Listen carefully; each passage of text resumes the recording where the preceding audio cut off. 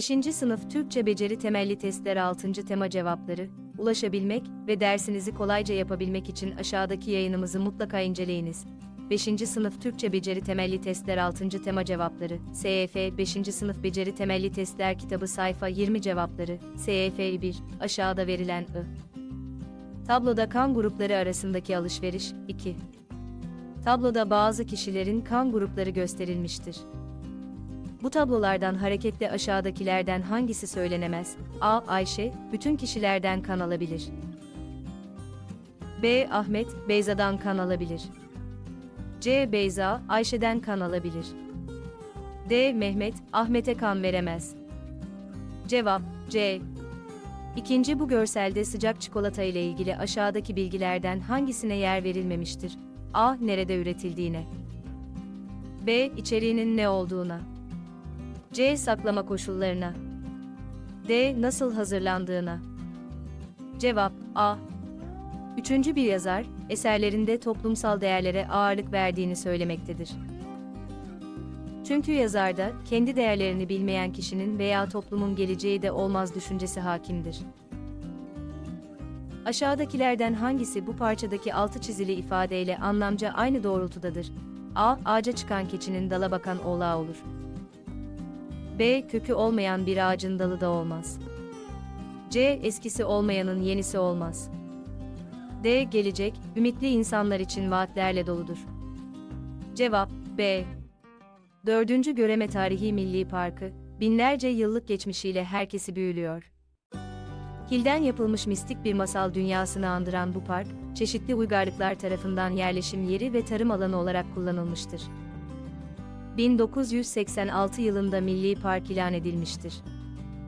Milli Park olmadan bir yıl önce UNESCO Kültür Mirası listesine alınmıştır. Bu parçada Göreme Tarihi Milli Parkı ile ilgili aşağıdakilerden hangisine değinilmiştir? A. Birçok medeniyete ev sahipliği yaptığına. B. insanda merak duygusu uyandırdığına. C. Kültür mirası listesine alınma ölçütüne. D. Açık hava müzesi özelliği taşıdığına. Cevap A. SEF 5.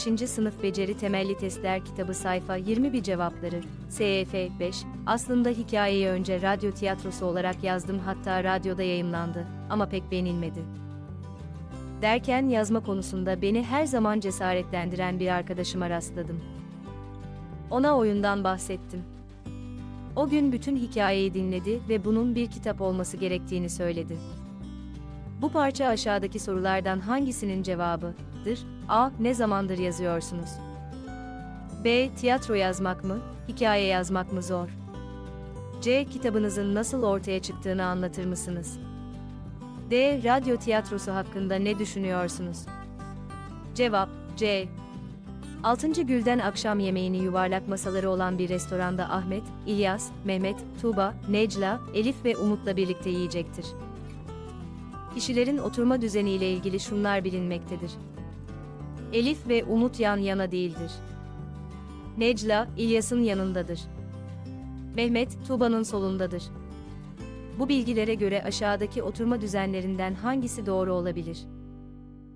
Cevap D. SEF 5. Sınıf Beceri Temelli Testler Kitabı sayfa 22 cevapları, SEF 7. I. Biyolojik çeşitliliğin azalmasını engellemek ve iklim değişikliğiyle mücadele etmek için ormanların ve içindeki canlıların korunması gerektiği vurgulanıyor.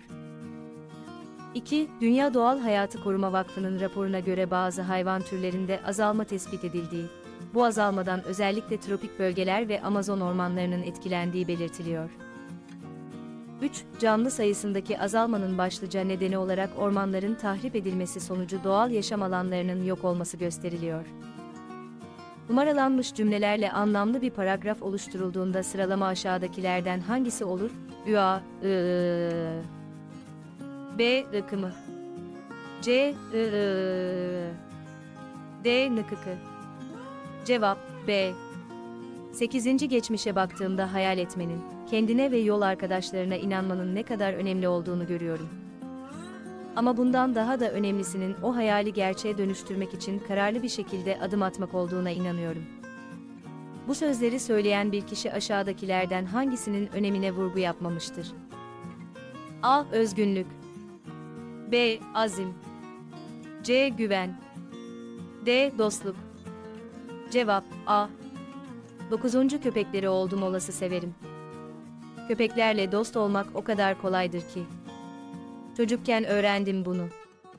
Yıl 1936 olmalı. Beşiktaş, Abbasa yokuşundaydı küçük bahçeli, iki katlı evimiz. Bir gün kapı önünde oyalanırken kara, kıvırcık tüylü, orta boy bir köpek yanaştı. Beni tanıyor gibiydi. Önce bir ayağını omzuma koydu, sonra yüzümü yalamaya başladı. Besbelli ev köpeğiydi. Yolunu şaşırmış olmalıydı ve gideceğe benzemiyordu. Bu metnin hikaye unsurları ile ilgili aşağıdakilerden hangisi yanlıştır? A. Olay, bir çocuğun sokakta bulduğu köpeği sahiplenmesi. B. Yer, Beşiktaş, Abbasa yokuşu. C. Zaman, 1936. D. Kişi ve varlık kadrosu, çocuk ve köpek. Cevap A. SEF 5. Sınıf Beceri Temelli Testler Kitabı Sayfa 23 Cevapları SEF 10. Bu oyun tahtasında yer alan oyun taşı, futbol topu, her hamlede bir kare çapraz gidebilir. Taralı alanlar, taşın konamayacağı yasak bölgeleri göstermektedir. Bu açıklamaya göre oyun taşının en son konabileceği kutucuk aşağıdakilerden hangisidir? A. H1 B. H2 C. H3 D. H4 Cevap C.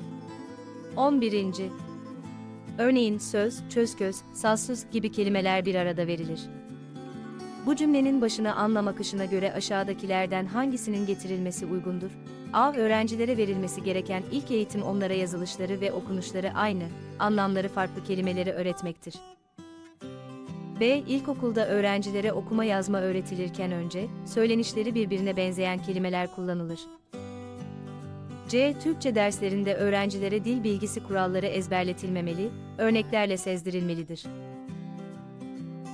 D. Okullarda yapılacak ilk iş öğrencilere düşüncelerini rahatlıkla ifade edebilecekleri bir eğitim vermektir. Cevap B. 12. Mutfakların sağlık kaynağı mantar, ışığa ve toprağa muhtaç olmayan, bitki veya sebze sınıfına girmeyen bir üründür. Kendiliğinden boy verme özelliğine sahip olan mantarın besin değeri oldukça yüksektir. Kolesterol ve yağdan yoksun olan bu besini insanoğlu binlerce yıl önce keşfetmiştir. Bu metinde mantar ile ilgili aşağıdakilerden hangisine değinilmiştir? A. Lezzetli bir gıda olduğuna. B. Yetişme koşullarına. C. Nerelerde yetiştiğine. D. Türlerine. Cevap B. SEF 5. Sınıf Beceri Temelli Testler Kitabı sayfa 24 cevapları. SEF 13 Uçak camlarında gördüğümüz küçük deliklerin iki işlevi var. Biri hava basıncını dengelemek. Zira uçak havalandığında uçağın içinde ve dışında büyük bir basınç farkı oluşuyor. Bu küçük delikler sayesinde o fark dengeleniyor. Minik deliğin diğer işlevi de camın bulanmasını engellemek. Cevap D. 14. ne günlermiş, ne günlermiş yıldızlar, mehtap, çamlar altında yıldızlar, mehtap, çamlar altında ne günlermiş, ne günlermiş gelip geçmiş bu dizelerin teması aşağıdakilerden hangisidir? A. Özlem B. Doğa sevgisi C. Ümitsizlik D. Arkadaşlık Cevap A. SEF 5.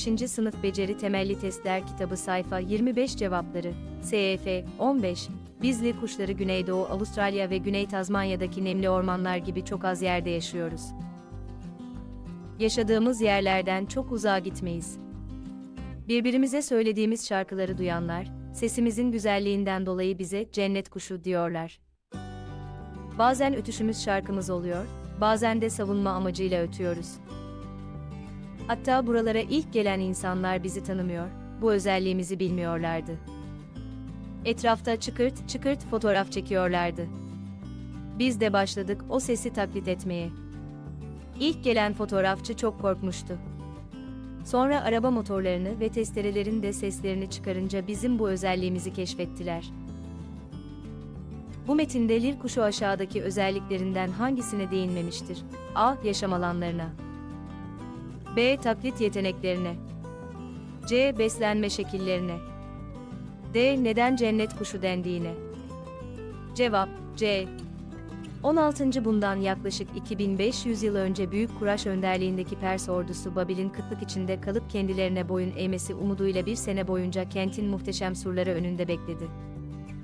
Kuraş'ın ihtirasını iyi bilen Babilliler akıllıca bir önlem alarak kendilerine yıllarca yetecek kadar yiyecek depolamışlardı.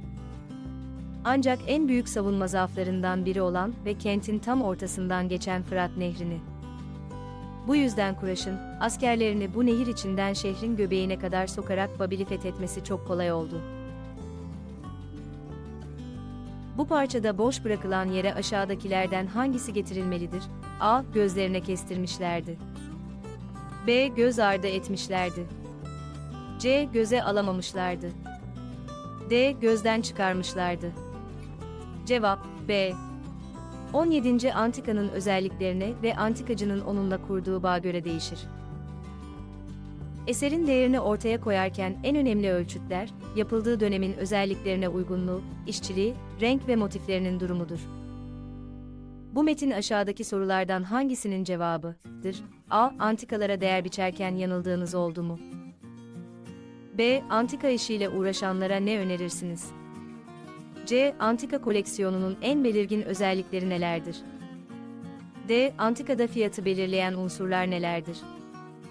Cevap D. SEF 5.